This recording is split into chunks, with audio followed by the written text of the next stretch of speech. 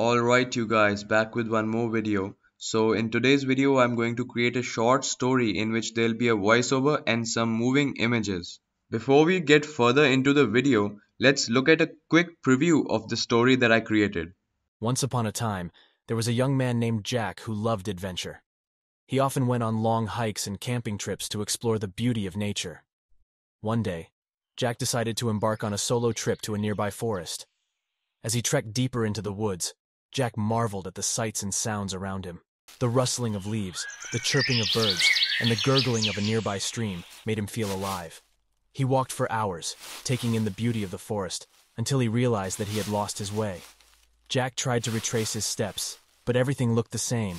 We mainly have to go through three steps in order to create such a short story. The first step is to go to ChatGPT and create a short script.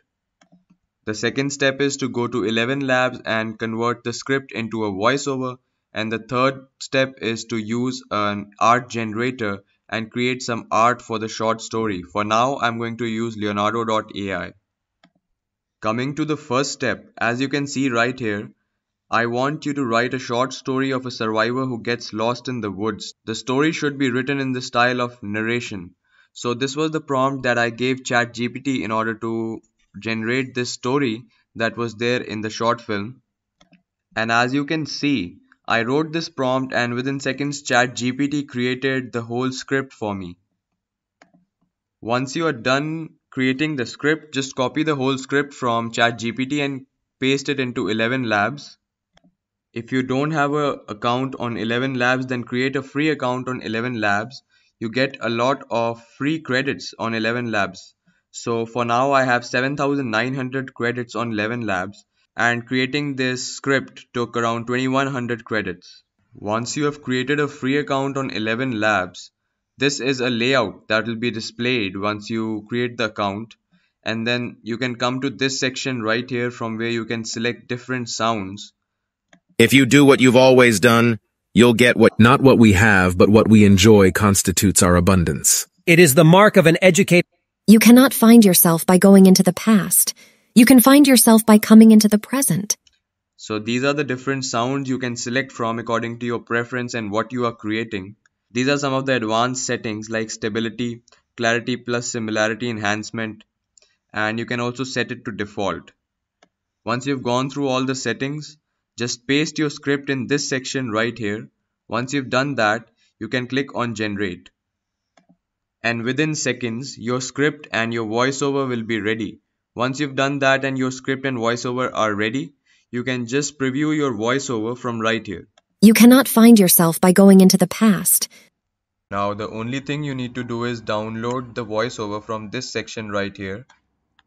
Now the next step is to generate some art for our short story. For that you can use any AI art generation tool if you know or are familiar with some but if you're not familiar with any, then just go to leonardo.ai. So I've opened leonardo.ai and let's go to AI image generation and I'm going to show you some of the images that I generated for my short story.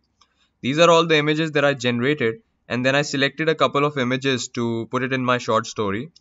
Now if you look at the prompt of these images, explorer man named Jack walking and trekking into the forest, explorer man named Jack so if you see one thing common in all the prompts is that I've put in explorer man named Jack.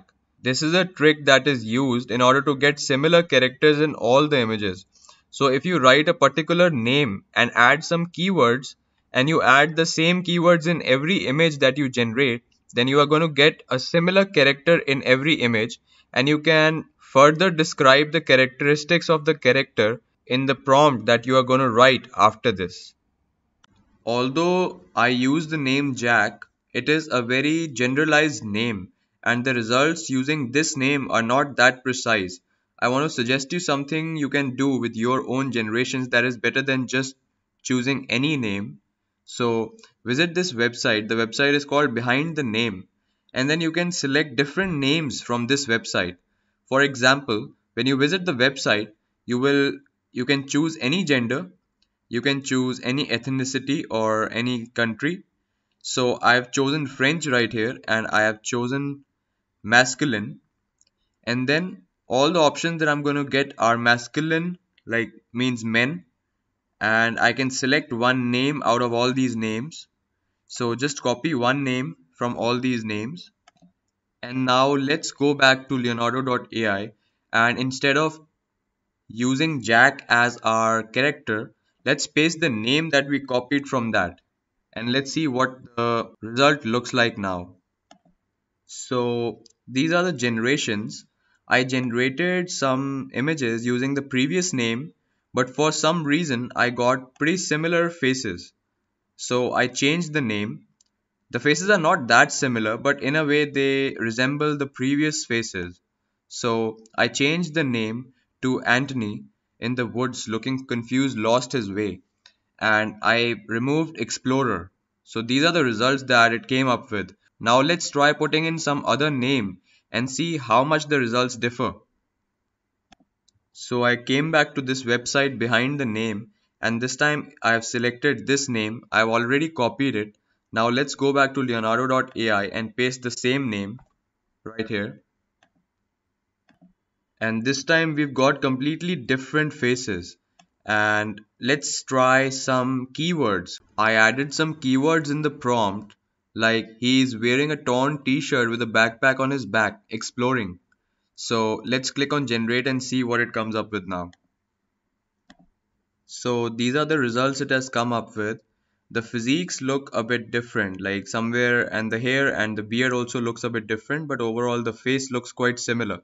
So we can describe characteristics like physique, the beard, the hair to get the same results in all the images.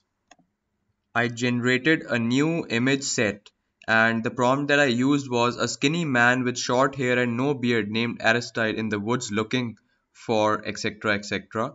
I just added a skinny man with short hair and no beard and this is what the images look like. Now I wanted a black man so uh, a skinny black man with short hair and no beard named Aristide. So this is what the generation came up with when I described the exact characteristics that I wanted for the character and as you can see the characteristics in these images look quite similar to each other. If you want to describe the texture and the design on the t-shirt as well to make the t-shirt similar you can do that too.